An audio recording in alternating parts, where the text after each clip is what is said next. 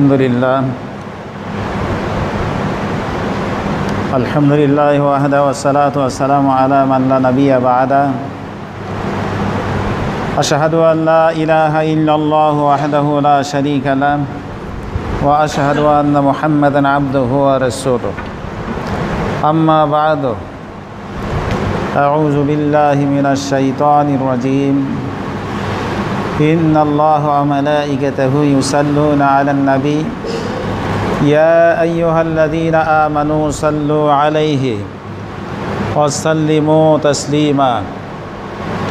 اللهم صل على محمد وعلى آل محمد كما صليت على إبراهيم وعلى آل إبراهيم إنك حميد مجيد. اللهم بارك على محمد وعلى آل محمد كما باركت على إبراهيم وعلى آل إبراهيم إنك حميد مجيد.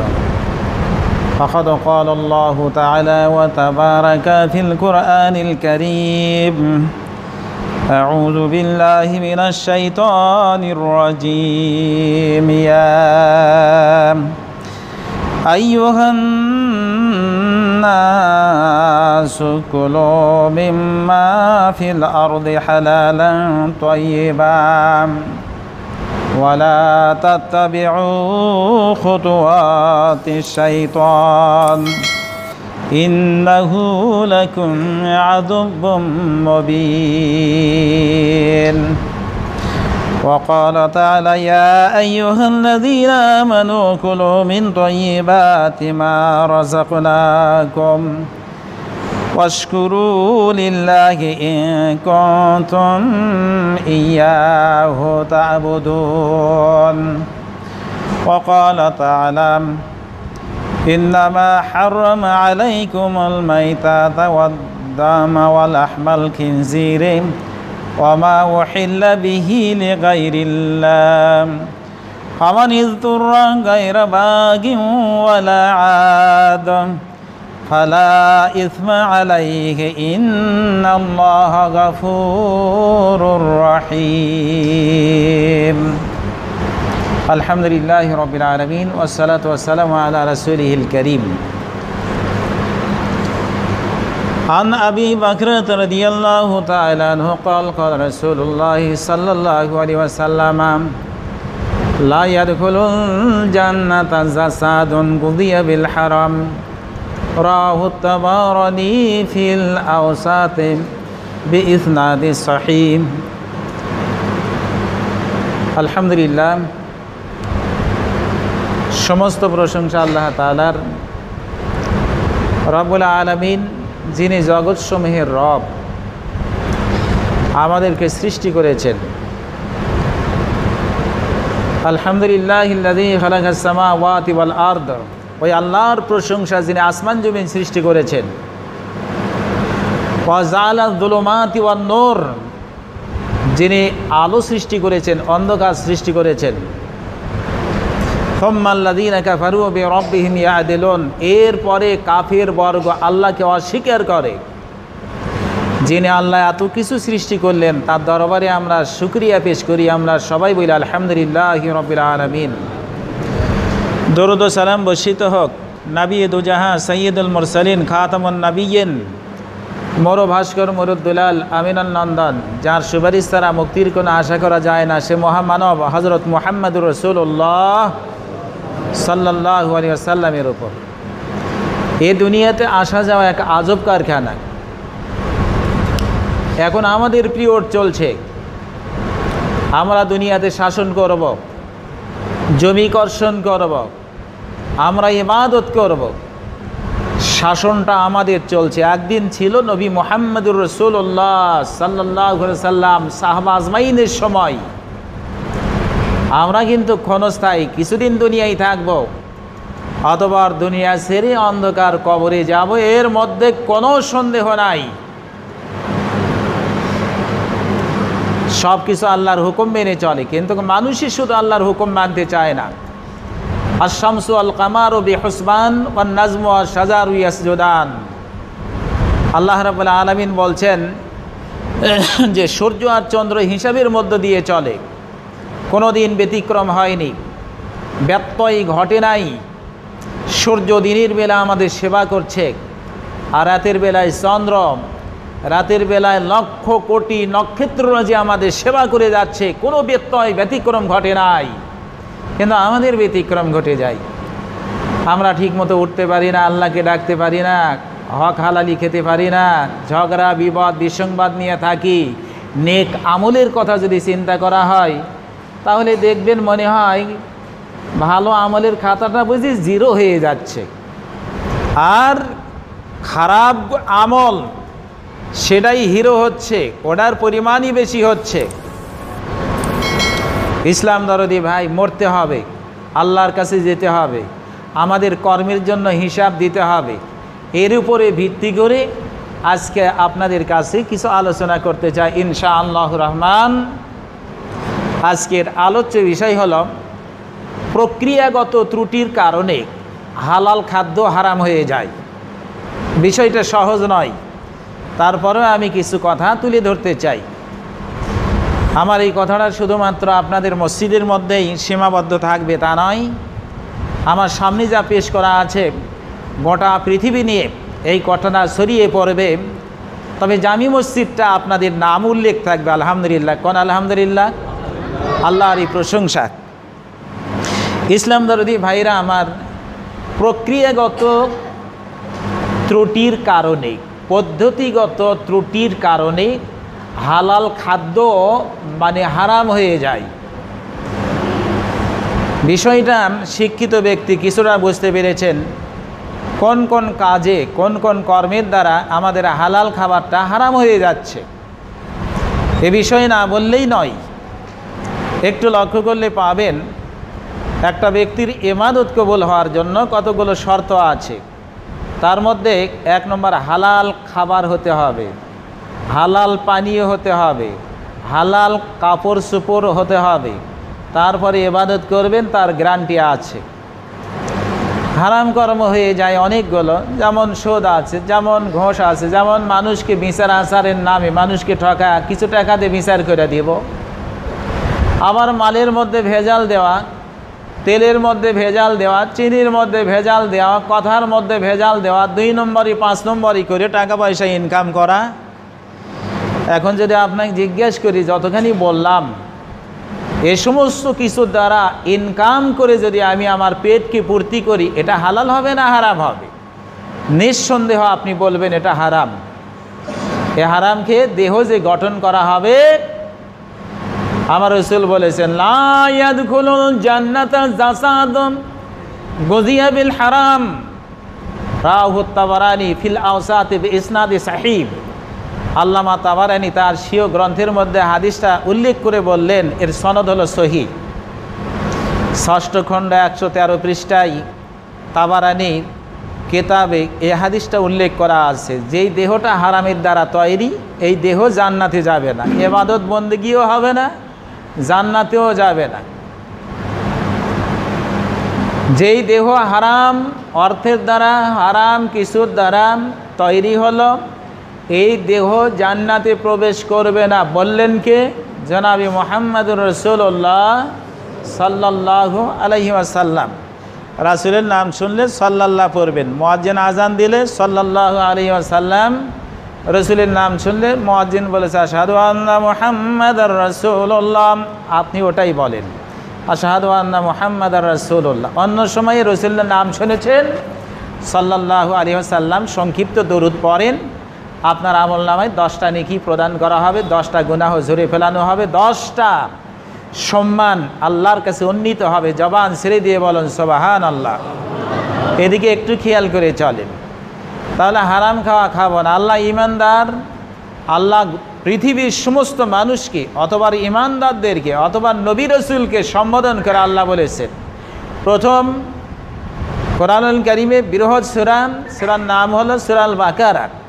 একশো আটষট্টি নম্বর আয়াতে কারিমে আল্লাহ তাম মানুষকে ডাক দিয়ে বলছেন, ইয়াম আইয়ুহাল্লাযীনা ইয়াম আইয়ুহান নাসু কুলু মিম্মা ফিল আরজি হালালান তাইয়্যিবা ওয়ালা তাত্তাবিউ খুতুওয়াতিশ শাইতান। ইন্নাহু লাকুম আদুব্বুম মুবিন। বিশ্বের মানুষ রে, আমি আল্লাহ যেটা হালাল হিসাবে দিলাম, যেটা বৈধ সেইটা খাও। কলম ফিল আরদে হালালান তৈবাম। আমি এই জমিনের ওপরে যা হালাল করলাম, ওইটা খাও। হারামকে বর্জন করো। শয়তানের অনুসরণ করো না। শয়তান তোমাদের প্রকাশ্য দুশ্মন। আল্লাহর হুকুম ছেড়ে দিয়ে আর যত রকমের হুকুম আছে, আল্লাহর হুকুমে খানা পিনা ছেড়ে দিয়ে, ব্যবসা বাণিজ্য ছেড়ে দিয়ে, লেনদেন ছেড়ে দিয়ে যত রকমের লেনদেন আছে ওটা হলো শয়তানের লেনদেন? তাহলে হয় আল্লাহর পথে থাকবেন, নইলে শয়তানের পথে থাকবেন। এখন আপনার ইনকামটা হালাল হতে হবে, খানাটা হালাল হতে হবে। সামনে কোরবানি আসতেছে, আল্লাহর নামে কোরবানি করব। বিসমিল্লাহ, আল্লাহ আকবার। আল্লাহর নামে কোরবানি করছি, আল্লাহ তোমার নামে পশুটা জাবহ করছি। এখন যদি বলা হয় বিসমিল উজ্জা উজ্জার নামে শুরু করলাম এই পশুটা মোশরেকেরা যেমন ভগবানের নামে, অমক ঠাকুরের নামে, অমক প্রতিমার নামে বলি দিয়ে থাকে। একই জিনিস, একই ছাগল আল্লাহর নামে জবহ করলেন বৈধ। আর ওইটা যখন লাত, মানত অজ্জার নামে, ভগবানের নামে জবহ করলেন, ওটা হারাম হয়ে গেল। আমি কি বললাম? প্রক্রিয়াগত ত্রুটির কারণে হালাল খাদ্য হারাম হয়ে যায়। তাহলে এই যে বিসমিল্লা ছেড়ে দিয়ে অন্য কারণ আমি পশু কোরবানি করেছেন, তখন জানবেন যে এই পশু আর আমার জন্য খাওয়া হালাল নয়। অনেকে অফিসে যায় অনেকে আবার কর্মস্থলে যায় যার পরে যারা মোশেক, তারা গোস্ত নিয়ে আসছে, খেয়ে নিয়েছে। ও জানে না, যারা আল্লাহর নামে জবহ করে না, ওইটা আমার জন্য খাওয়া হারাম। এই চিন্তাই করে না, খেয়ে নিয়েছে। তাই সাবধান হুঁশিয়ার হতে হবে। আমার খানার জন্য শুরু করতে হবে আল্লাহর নামে। অন্য কারও নামে জবহ করবেন, ওই পশু খাওয়া যায় না। ওটা হারাম হয়ে গেছে। কাজে একটু খেয়াল করে চলতে হবে। আমার আল্লাহ বললেন সুরাই বাকারার একশো তিয়াত্তর নম্বর আয়তি করিমা, ইন্নামা হাররামা আলাইকুমুল মাইতা ওয়াদ-দাম ওয়াল আহমাল খিনজির।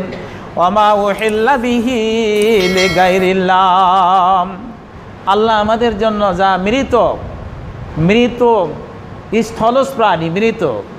যেমন মারা গেছে গরম, মারা গেছে ছাগল, হাঁস, মুরগি, আল্লাহ বলেন, এগুলো হারাম। ইন্নামা হারাম আলাইকুমল মাইতা তোমার দাম। রক্তকে আল্লাহ হারাম করেছেন। আল্লাহামা খিনজির, শুকরের গোস্তকে আল্লাহ হারাম করেছেন। কুকুরের গোস্তকে হারাম করেছেন। তাহলে এগুলি খেতে পারবেন না।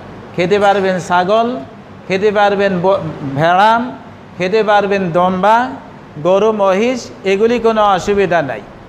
এগুলি খেতে পারেন। তা আবার আল্লাহর নামেই জবে হতে হবে। অন্য কারও নামে, যেমন আমরা ছাগলের গোস্ত খাই, আমার হিন্দু ভাইয়েরাও ছাগলের গোস্ত খায়।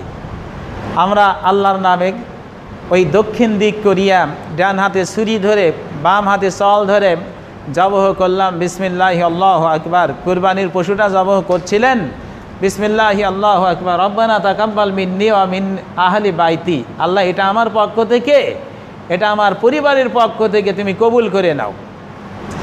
আমার যদিও প্রসঙ্গ এটা নয়, তারপরেও বলি, কোরবানির সময় আপনার পরিবার আর আপনার আপনার আর আপনার পরিবারের নিয়তে কোরবানি।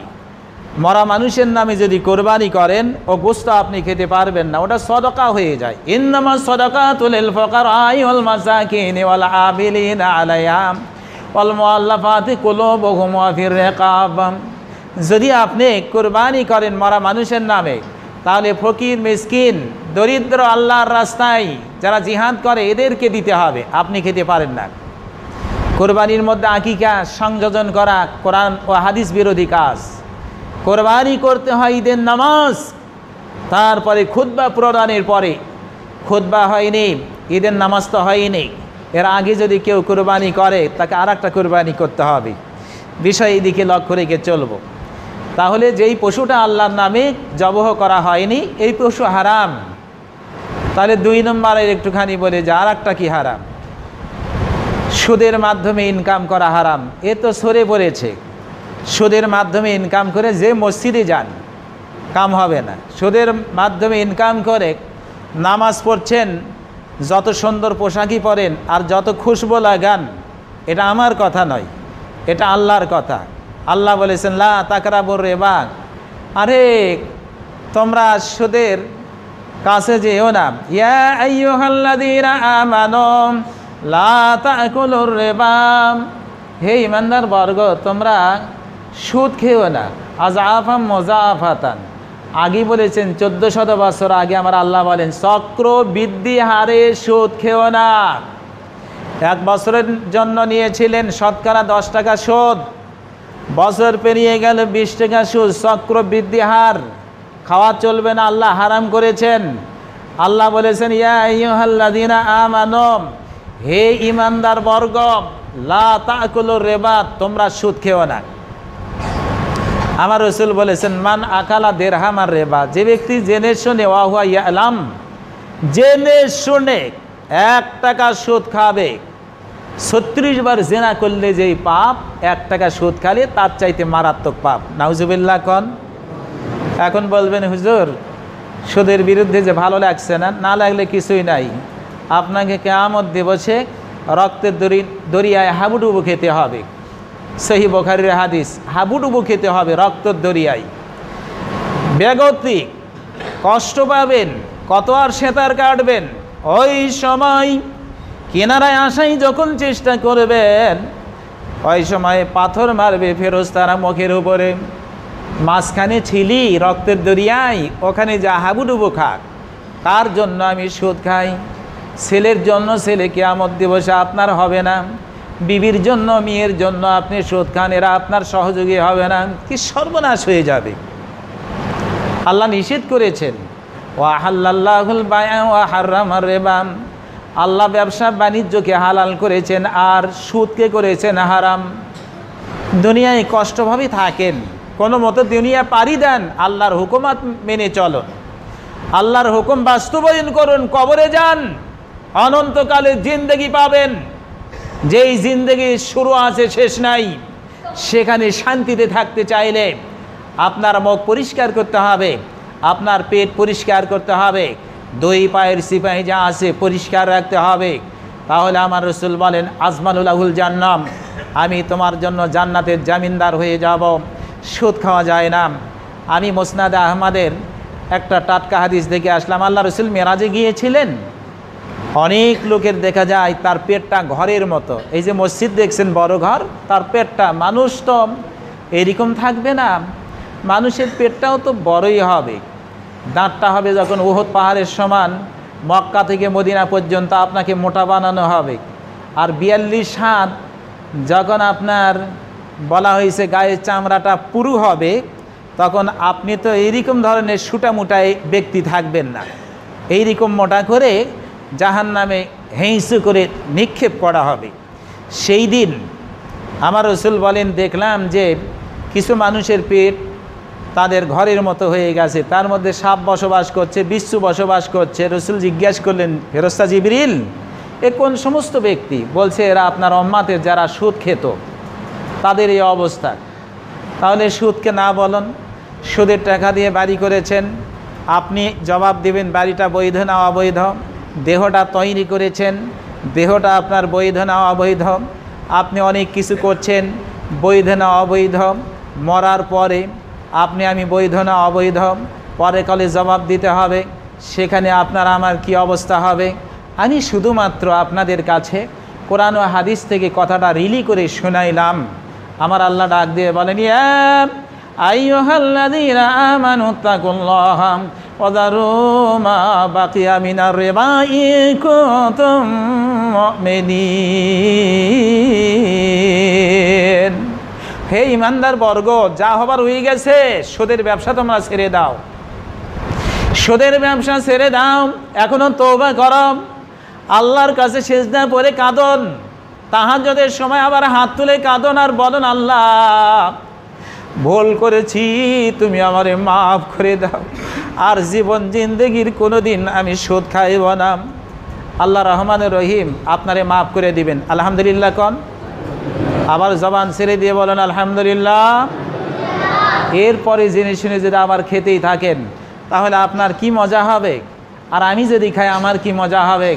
তাহলে একটু এই বিষয়টা একটু অনুধাবন করেন, ফলাফল ইনশাল্লাহ পেয়ে যাবেন। নম্বর তিন কোন জিনিসটা হালাল ছিল, হারাম হয়ে গেল? অফিসে বসেছেন। সরকার বাহাদুর টাকা দেয়, বিশ হাজার টাকা মাইনা। সরকার নেই, পঞ্চাশ হাজার টাকা মাইনা। অফিসে বসেছে, ফাইল চলে না। ফাইল চলে না। মক্কেল গিয়ে বলছে, সাহেব, গত দিন হলো ফাইলটা দিয়েছিলাম, চলে না। বলছে, কোন যুগের মানুষ তুমি? বোঝো না। বোঝো না তুমি? তার মানে কিছু নিবে। সরকার দেয় পঞ্চাশ হাজার আরও কিছু নিবে, তাহলে ফাইল চলবে। এরে বলা হয় ঘষ। আমার রসুল বলেন, লানাতুল্লাহ আলার রাশিওয়াল মর্তাশিব আল্লাহর গজব আল্লাহ লানত, যারা সুদ খায় এবং সুদ দেয়, তাহলে যারা খায় তাদের লাভ আছে। দুনিয়া কাইম করল, যারা দেয়, তাদের আবার কি লাভ আছে কন? তারা দিয়েই ঠকলো। এরপরেও তাদের উপরে আল্লাহ লানত। যে ঘোষ খায় আর যে ঘোষের টাকা দেয়, রাসুল বলেছেন, লানাতুল্লাহ আল্লাহর রাশিওয়াল মর্তাশি। যে ঘোষ গ্রহণ করে আর যে ঘোষ খায়, ও ভাইয়ের উপরে আল্লাহ লানত। ঘোষ খাওয়ানা বন্ধ। আর রাশিয়াল মর্তাশি কিলা হুমা ফিন্নার, রাহু তাবারানি। আমার রসুল বলেছেন, ঘোষ যে খায় আর যে ঘোষ দেয়, এরা দোনো ভি জাহান্নাবি এরা দুজনই জাহান্নামে যাবে। তাহলে ঘোষও তো আমরা দিই। যাব কোন দিকে হুজুর? কোন দিকে যাব? উপায় নাই, সাহেব, উপায় নাই, কোন দিকে চলবেন? এরপরে আসন সংক্ষিপ্তভাবে বলে যায়, অন্যায় করিয়া এতিমের মাল ভক্ষণ করেছেন। পেটটা আগুন দিয়ে আপনার পূর্তি করা হবে।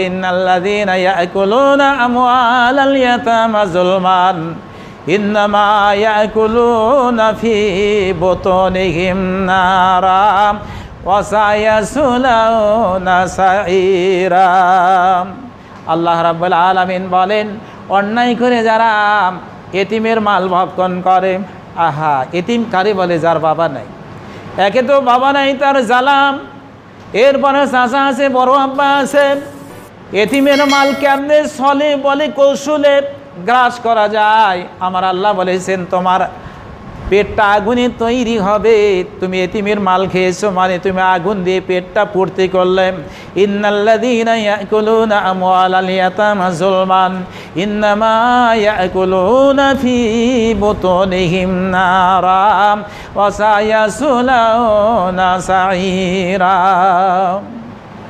জাহান্নামের আগুনে নিক্ষেপ করা হবে। কারে? যেই ব্যক্তি এতিমের মাল অন্যায় করে খায়। এতিমকে প্রতিপালন করতে গিয়াম। যে প্রতিপালন করছে, চাচা বড় আব্বা, তার টাকা পয়সা নাই।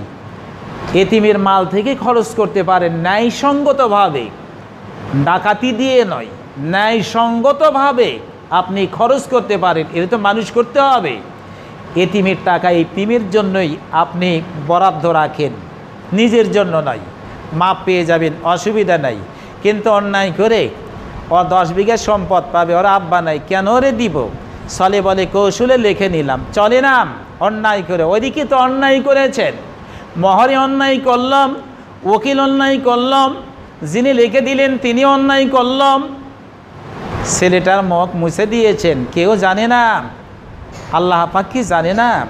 ওয়াসিরু কাওলাকুম আবিজহারু বিহি, ইন্নাহু আলিমুম বিযাতিস সুদূর। সূরা মুলক।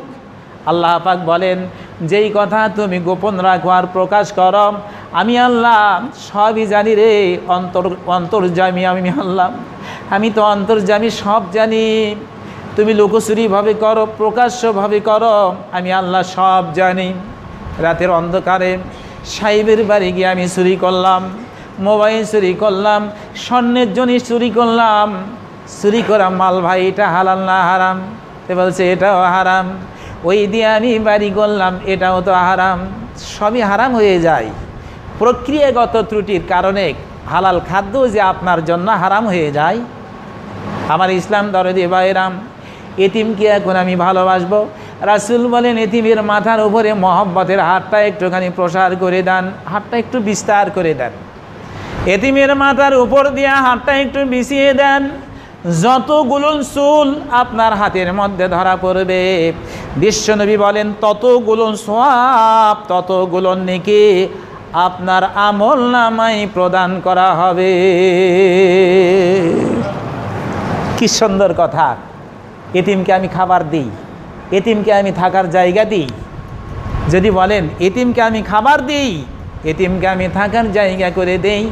বিশ্বনবী বলেন, ওই ব্যক্তির জন্য আল্লাহ জান্নাতের ফায়সালা করে দিবেন। আওয়াজ দিয়ে বলেন সোবাহান আল্লাহ কি সুন্দর।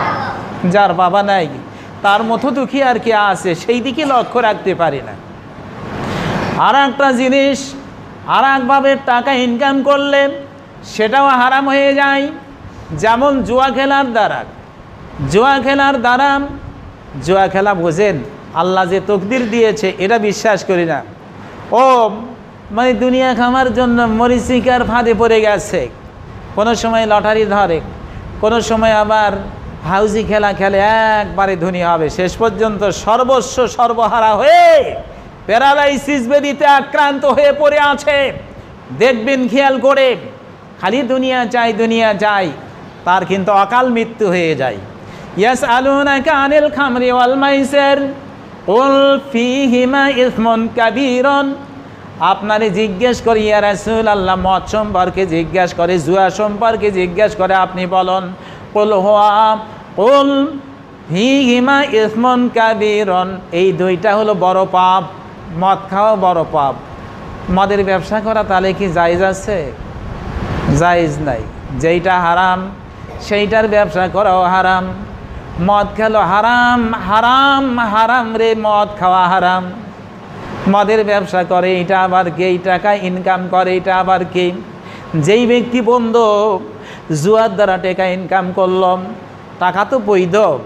এই দশ হাজার টাকা আজকে পেয়েছি জুয়ার দ্বারা।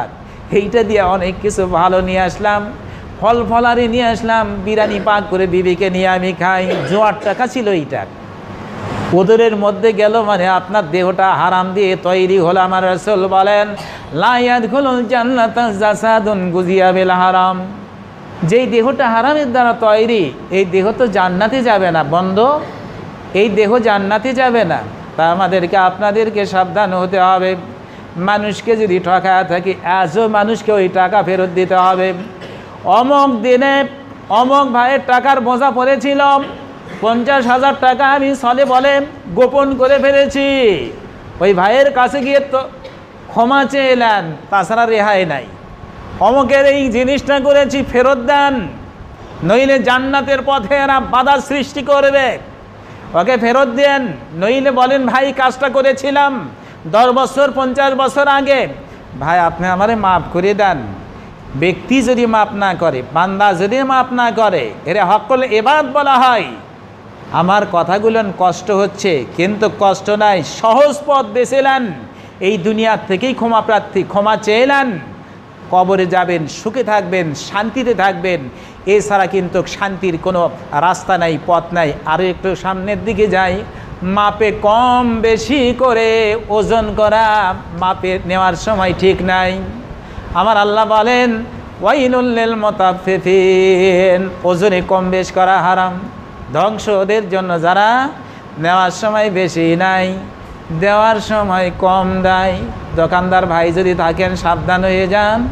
সঠিক বিচার করতে হবে। ও আউফুল কাইলা ওয়াল মিজান আবিল কিস্ত। আল্লাহ বলছেন শ্রা নামের মধ্যে যখন তুমি ওজন করবে, যখন তুমি বিচার করবে, ওজন করবে, মেপে দিবে। সঠিকভাবে মেপে দাও। সঠিকভাবে তুমি বিচার করো। নেওয়ার সময় বেশি নিবে আর দেওয়ার সময় কম দিবে। বেশি নিয়েছে হারাম, দেওয়ার সময় কম দিয়েছ, কতখানি কম দিয়েছ বাংলার হক নষ্ট করেছ। একদিন মাছ কিনছিলাম, বলছে, সঠিক ওজন দিচ্ছে হুজুর। আমি বলছি, সঠিক না বেঠিক? আপনারে আমি ধরতে যাব না। যদি আপনি বেঠিক দিয়ে থাকেন, কম দিয়ে থাকেন, এটা কি আমদ দিবসে আমার জন্য ধরান বেচারা একবারে বলছে, আপনি সিরিয়াস কথা বললেন। হ্যাঁ যত মানুষকে ঠকাইছেন মাফ করে মাছ দিয়া। যতদিন দিয়েছেন, এগুলি ধরা আছে ওই বান্দা কেয়ামত দিবসে। আপনার বিরুদ্ধে দাঁড়িয়ে যাবে, সেদিন সব দিতে হবে। সব দিতে পারবেন না, ওর ভাগে জাহান্নাম ভোগ করতে হবে। ইসলাম কত সুন্দর, কত পবিত্র। ইসলাম কত সুন্দর কত সুন্দর নীতি ইসলামের। যে একটা মানুষকে ঠকানো যাবে না, মানুষের কোনো জিনিস পরে থাকলে অন্যায় করে আপনি নিতে পারেন না। আপনি মুসলিম, মুসলমান হিসাবে ইসলামের নীতি আপনি অবলম্বন করেছেন, মেনে নিয়েছেন। একজন আপনার দ্বারা প্রতারিত হবে, ক্ষতিগ্রস্ত হবে, এরা কোশ্চিনকালেও হতে পারে না। ইসলাম দরদি ভাইরা এখানে শুধুমাত্র শেষটা নয়, আর একটুখানি বলে যাই। তাহলে মাপে কম বেশি করব না, সঠিকভাবে মাপ দিয়ে যাব। আল্লাহ দিনা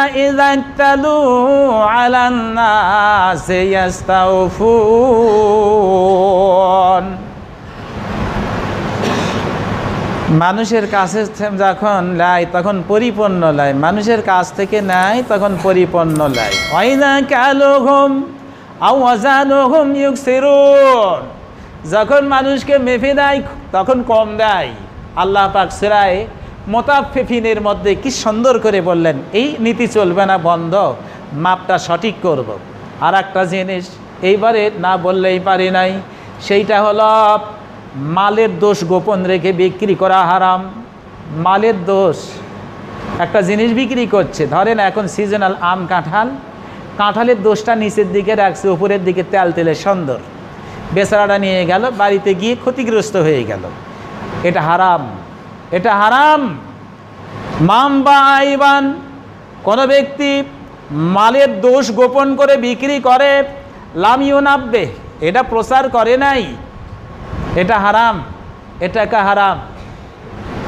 হাই সর্বনাশ করেছে। এগুলিতে করে থাকি। চালের মধ্যে ভেজাল দিয়েছে। সুন্দর চালের মধ্যে খারাপ চাল ঢুকে বাজারজাত করেছে। আবার বড় চাল গোলন ছোটো করে আতপ চাল বানাইছে। তেলের মধ্যে ভেজাল দিলাম কেজি প্রতি দশ টাকা, পাঁচ টাকা করে লাভ পাওয়ার জন্য। এইবারে চিনির মধ্যে ভেজাল দিল, লবণের মধ্যে ভেজাল দিলাম ধানের মধ্যে ভেজাল দিলাম সরিষার মধ্যে ভেজাল দিলাম পাটের মধ্যে ভিতরে পানি আবার ঢোকা দিয়েছে। কত রকমের আছে? এইবারে দুই, তিন দিন থেকে গরু দহন করে নাই। ত্রিমোহনী বাজারে গেছে, ওলানটা বড়। একদিন দহন করল আড়াই কেজি, পরের দিন থেকে হাফ কেজি করে দুধ পাই। একেও কিন্তু প্রতারক বলা হয়, এও কিন্তু ভেজাল করেছে, এরও রেহাই নাই। হুজুর সর্বনাশ করল, আল্লাহ রসুল আস্থা দিয়ে যাচ্ছিলেন। হঠাৎ করে এক খাদ্য স্তূপের মধ্যে হাতটা প্রবেশ করালেন, হাতটা বের করলেন, দেখলেন যে হাত ভিজে গেছে। বলছে, ও সাহাবা, তুমি এই কাজ করলে কেন? বলছি, ইয়া রসুল আল্লাহ বৃষ্টি হয়েছে। বৃষ্টি হয়েছে। আসাবাতহুল মাতার আসাবাতহুল সামা, আকাশ থেকে বৃষ্টি হয়েছে, ভিজে গিয়েছিল। তাহলে তুমি ভিজা দিকটা উপরের দিকে রাখো নাই কেন? মানগাসানা ফালাইসা মিন্নাম রসুল আমার বলেন, বেচা কিনার মধ্যে যেই ব্যক্তি প্রতারণা করল, এই ব্যক্তি আমার অম্মাত নয়, এই ব্যক্তি আমার অম্মাত নয়, আমার অম্মাত নয়। ও দরদি ভাইরা প্রক্রিয়াগত ত্রুটির কারণে হালাল খাদ্য হারাম হইয়া যায়। আপনাদের কাছে আমি অনুরোধ করে যাই, হারাম জিনিস ভক্ষণ করব না, মানুষকে কোনো দিন ঠকাবো না। মানুষ মুসলমান আপনার ভাই গো, মুসলমান আপনার ভাইকে কোনো সময় ঠকাবো না, ঠকানোর জন্য কোনো সময় চেষ্টাও করব না। ও তো আমার ভাই, ও যদি আমার ব্যবহারে খুশি থাকে, আসমানের মালিকও আমার প্রতি খুশি থাকবেন বলেন সোহান আল্লাহ بارك الله لنا ولكم في القرآن العظيم ونفعنا وإياكم بالآيات والذكر الحكيم.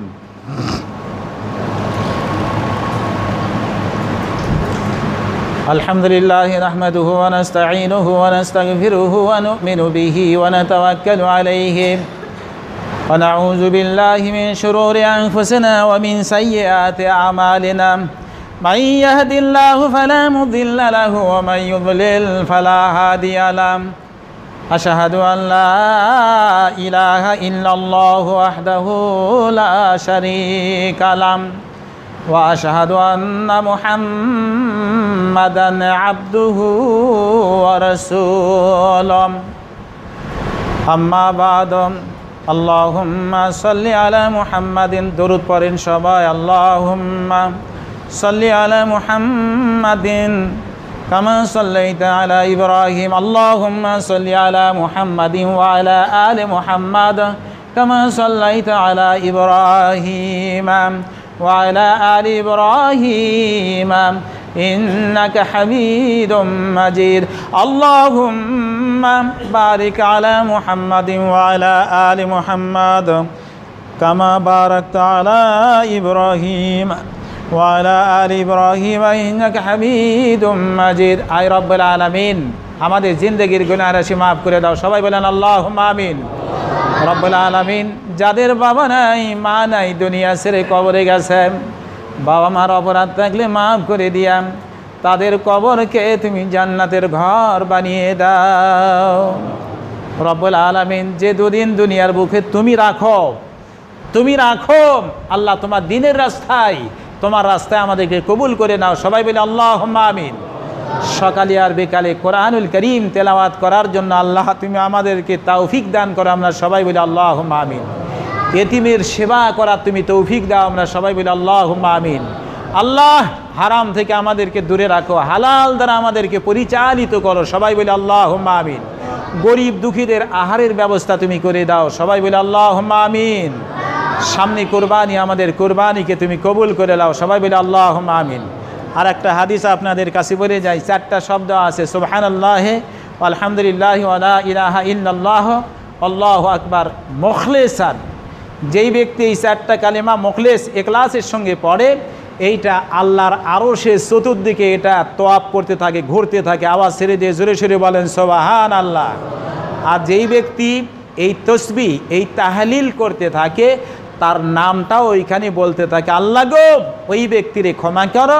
যেই ব্যক্তি সুবহান আল্লাহে আলহামদুলিল্লাহে ওলা ইলাহা ইল্লাল্লাহ আল্লাহ আকবার বলেছে, এই ব্যক্তির নাম উচ্চারণ করে আর আল্লাহর আরও সে চতুর্দিকে ঘুরতে থাকে। একটা আওয়াজ দিয়ে আবারও বলেন, আলহামদুলিল্লাহ।